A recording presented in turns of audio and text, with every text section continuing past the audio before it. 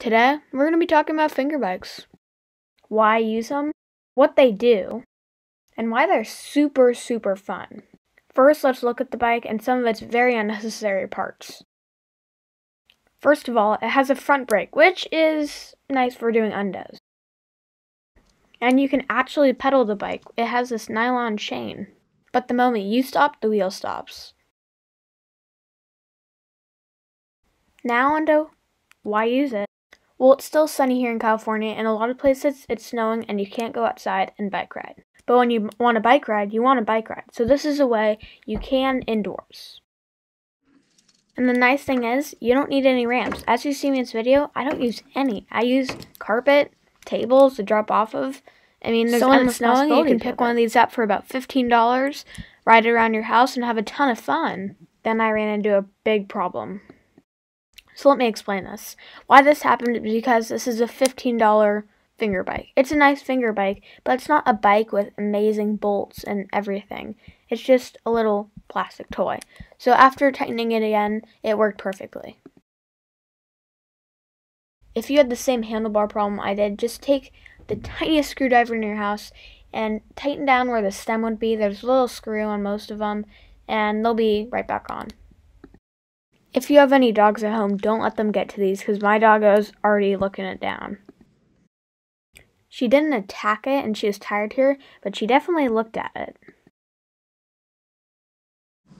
Guys, if you're not met Sol, I'll put a video in the description. She's my new 8-week-old puppy. She's a lab. She's a girl. That's all I got for you now. She sleeps a lot, and the video will be in the description. And in one of the corners, I should probably remember that about who she is and her running around our house.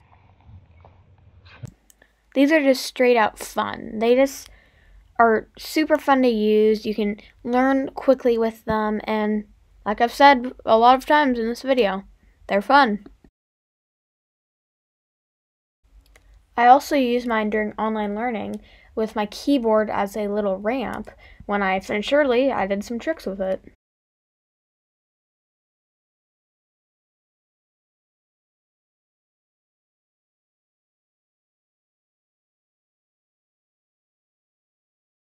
Tables, chairs, or anything like that carpet is a great way to use it because you don't really need any ramps. You can just use those as little kickers and drops and stuff and learn tricks quickly. Here I used the corner of the carpet as a little gapper jump.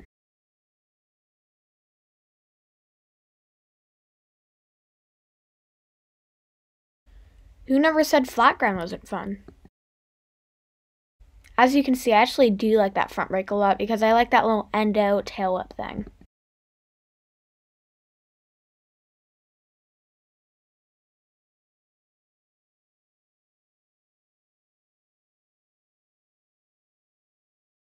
They're really easy to learn on, too. I was able to land this triple tail whip within the first two days of getting this one.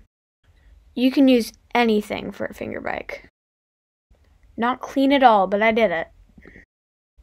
And like on a real bike, you fail sometimes.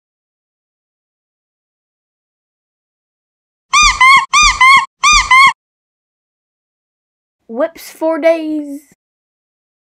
This is the Sleeping Dog Tail Whip. So I hope you enjoyed this video, and if you did, please subscribe. It really helps, and like the video as well while you're down there. I'd love to see some of you guys buy some of these $15 finger bikes and make some own videos on your channel. So, Make sure to subscribe, like the video, turn on those notifications so you get notified when I post videos. And that's all I got for you today. Stay safe and keep riding.